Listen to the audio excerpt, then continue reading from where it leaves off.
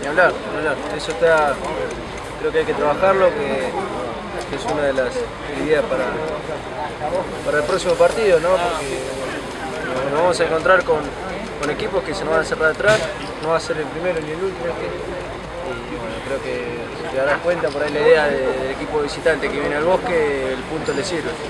Entonces está en nosotros poder contrarrestar ese juego y bueno, creo que, que se hizo bastante bien, porque ya te digo, se generaron las situaciones, faltó ligar un poco, estar un poco más finos ahí en la, última puntada, pero bueno, creo que, nos vamos con, con otra imagen y, y lo, lo, bueno para poder revertir la, situación de las derrotas que tuvimos. Estoy contento que recuperamos la identidad hoy. Hoy recuperamos la identidad como equipo. No nos patearon al arco 90 minutos, ya recuperamos algo. Veníamos de dos fechas bastante complicadas. Jugamos contra un equipo que, que se defendió bien. Cuando terminó el partido, Tete Quiró me dijo, están bajos, no le pudimos patear un tiro al arco. Me quedo con esa satisfacción de un tipo que conoce mucho de esto. Y realmente recuperamos algo de lo malo de las últimas dos fechas. Creamos 5 o 6 situaciones de gol. El otro día los jujeños con dos llegadas hicieron dos goles, nosotros creamos 6 situaciones, no fue brillante, pero me quedo que el equipo recuperó una identidad. Fue respetado de vuelta, no le patearon a dar con 90 minutos, es un buen comienzo para un camino tan largo como que tenemos.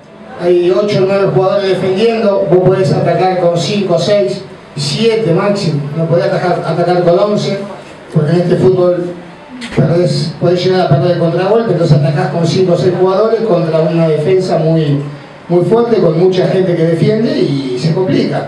Eh, todos los partidos van a ser así, van a ser duros, trabados, difíciles. Hoy podríamos haberlo ganado por lo que hicimos, o al menos no jugando tan bien, hemos creado situaciones muy claras para ganarlo, así que sabemos que va a ser un torneo duro y lo bueno al menos me quedo tranquilo de recuperar una de las partes que fue que el equipo volvió a encontrar la, la tranquilidad de que le llegue poco. Y después, bueno, lo otro, habrá que ir mejorándolo. A lo largo de un campeonato pasamos por todos los, los estados, este es un momento particular, lo bueno que volvimos a mover la tabla para buscar algo bueno y lo, lo bueno que creo que el equipo recuperó una identidad. Después, puede gustarles o no, puede ser brillante o no, pero eso lo dejo para ustedes. Para mí, como equipo, los jugadores me respondieron, dejaron todo, es un momento difícil, el clima está tenso, los chicos jóvenes necesitan tranquilidad y hay 15 o 20 que insultan a pibes de 20 años, que la verdad que eso sí es preocupante también. Yo creo que nos, falta concretar las situaciones, estuvimos en el primer tiempo ahí la de Pereira, estuvimos claras como para abrir el marcador. Yo recuerdo el partido con Jujuy, en la primera llegada te hacen un gol, no te patean al arco después de 90 minutos, vos no estás metiendo nada, después tuviste en el segundo tiempo tres o cuatro muy claras, no concretaste, bueno, es, es, normal que padezcas esto y que sufras hasta el final, porque el cansancio empieza a llegar, los jugadores empiezan a sentir el cansancio, el nerviosismo y la tensión empieza muy grande. Pero vuelvo a repetir, escuchaba gente grande atrás mío gritarle, insultando a Benavides, muy preocupante.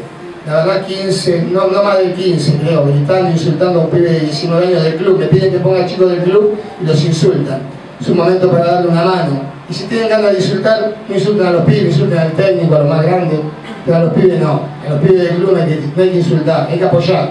Estamos en la fecha 15 creo, mamita, lo que falta gente.